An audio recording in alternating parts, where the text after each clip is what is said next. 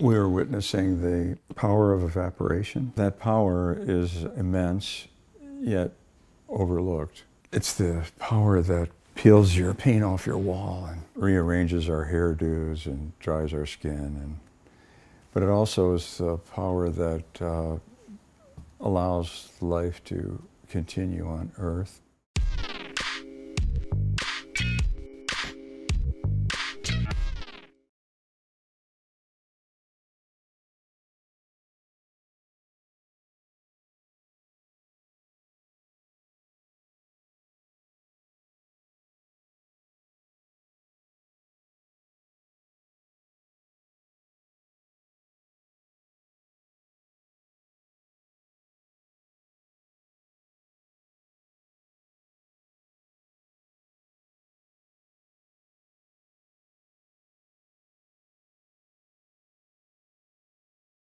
I have successfully sustained their emotion for weeks.